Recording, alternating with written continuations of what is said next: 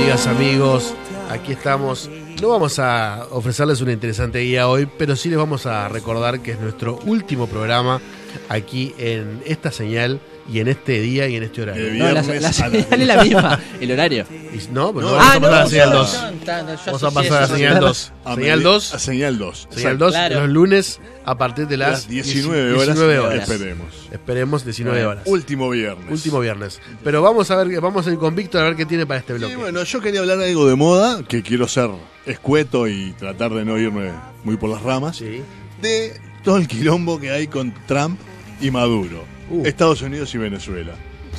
¿Ah? Porque estas amenazas de guerra y de invasión y todo, a mí me preocupan. Al igual que me preocupa, te digo también, todo el quilombo que tiene Trump con Corea del Norte, con Irán, ahora con la Unidad Económica Europea también se calentó. Con- convengamos que una guerra eh, tan cerca nos trastoca No, todo, nos- ¿no? nos puede tocar a nosotros mucho. Sí, sí, claro sí, que tal sí. cual. Y no solo eso, tenemos muchos venezolanos viviendo aquí. Y, Yo tengo un compañero de trabajo venezolano, exactamente. Y, ta, y esa gente eh, no, no, no está bueno que la, su país... la, la sufre. eh, claro, Sí, claro, claro, claro, Se tuvieron que ir, digo, la pucha, la están pasando muy mal, muy Sí. mal. Sí, sí, sí, sí, ¿ah? sí. Yo estoy en contra de las de que otro país se meta en las cosas de un país, pero digo, la están pasando muy mal.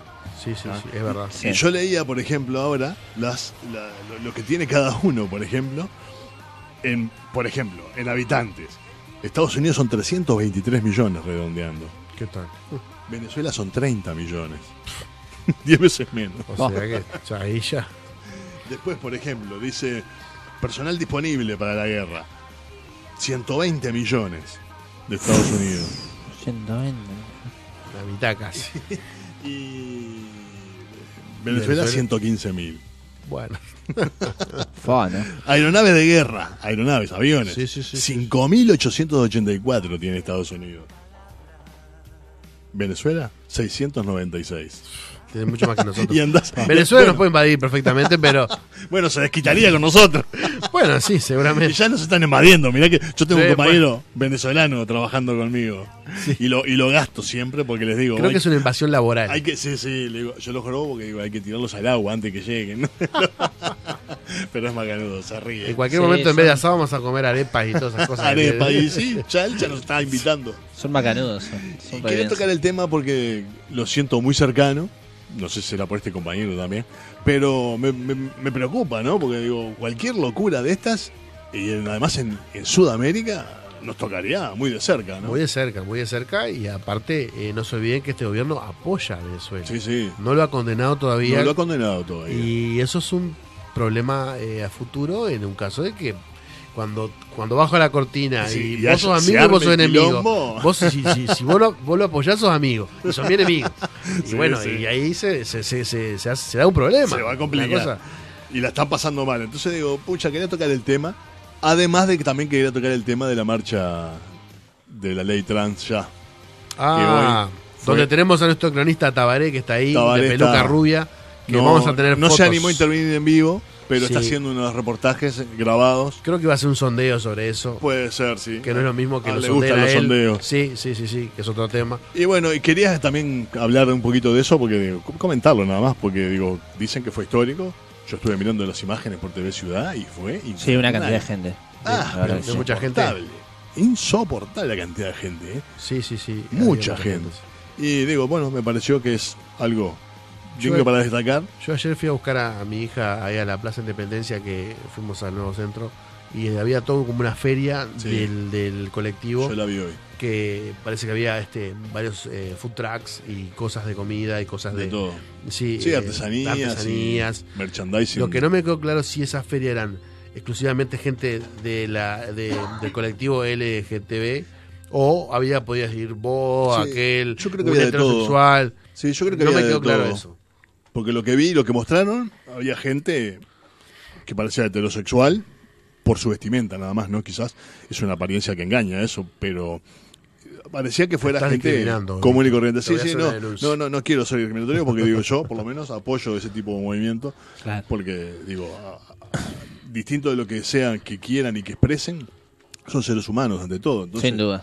Sí, digo, sí. tienen Sí, todo sí, el sí, derecho. Por supuesto. Así que quería comentarlo y tocar el tema nada más. Está bueno, está bueno. ¿Está? Y antes, Bueno. antes de, de- de- de- de terminar, voy a comentar algo que vi los otros días eh, sobre lo de, lo de Venezuela. Ajá. En todas las voces que estaban hablando de Venezuela y una y una este asistente de, cámara que era venezolana la, la hicieron pasar para, para hacer unas preguntas. Y la muchacha eh, eh, era tenía dos másteres de abogacía y estaba acá haciendo de asistente. Ah, mira. Entonces le dijo, ¿qué le preguntó este Castro? eh, ¿Qué fue lo primero que le llamó la atención de Uruguay? Ni bien llegó.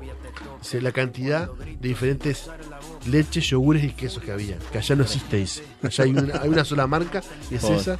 Y ahí te das cuenta de la dimensión de lo Sí, que uno sí, de repente. Sí. teniendo un peso, porque muchas veces no lo tenés, vas al supermercado y tenés para elegir Ujú.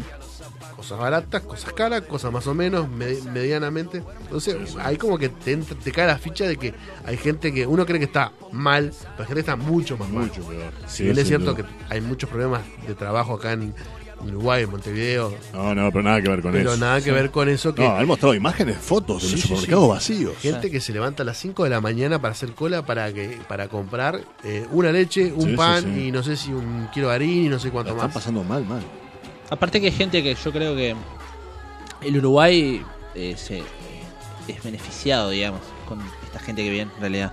Porque hay gente que está muy calificada. Y es mano de, es gente que a, Uruguay no le sale un peso. En realidad viene, Ujú. viene gente eh, sobrecalificada que puede aportar muchísimo al país. No es Sí, eh, como sí, en sí. otros años que en otras épocas que se nos iban, se nos iban los cerebros al exterior. Ahora no, al contrario, gente No, que viene sobre, Y que a veces- sobrecalificada y y, que a veces esas lo que pueden llegar a aportar a este país. Es que a veces esas migraciones se dan y, y te cae cualquier tipo de gente porque salen desesperados y salen todos. los de bajo nivel. y los de- En cambio acá creo que es, es selectivo por parte de ellos mismos, ¿no?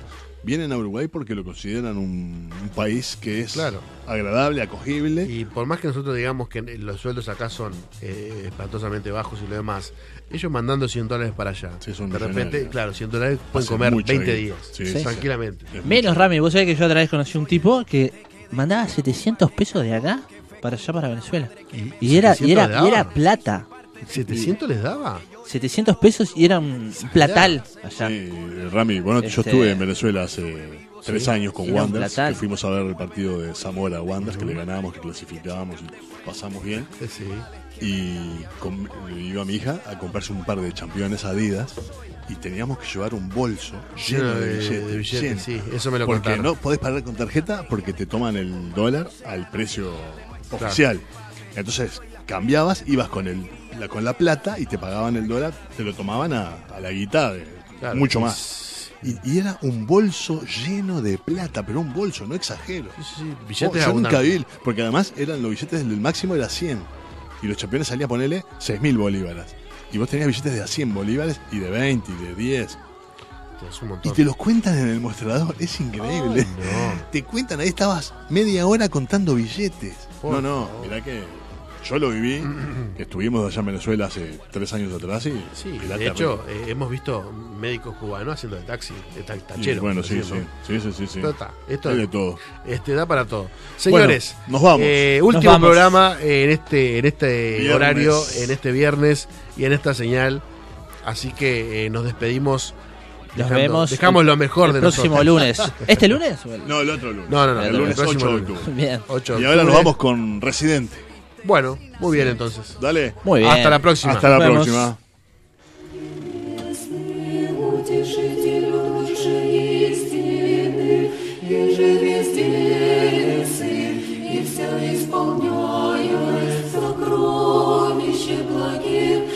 жизни подателю, приди, вселись в и очисти от всяких скреп спаси, Боже, души нас.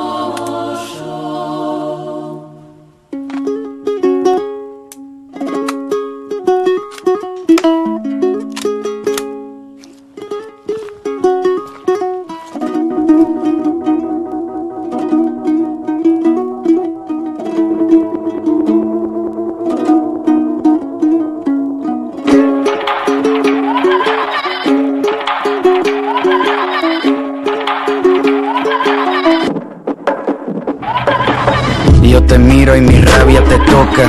cuando grito sin usar la boca y mi furia se come a la gente porque muerde aunque no tenga dientes. El dolor no me causa problemas, hoy los dolores recitan poemas. El mundo me lo como sin plato, el miedo a mí me limpia los zapatos, el fuego lo derretió y las pesadillas no duermen porque piensan en mí.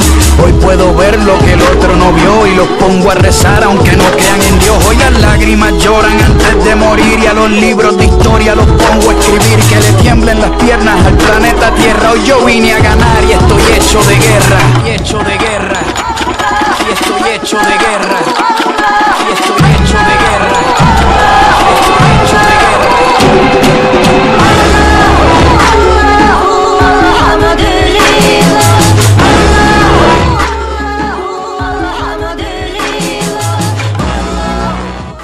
Estás escuchando Mediarte. Mediarte. Un nuevo canal de comunicación.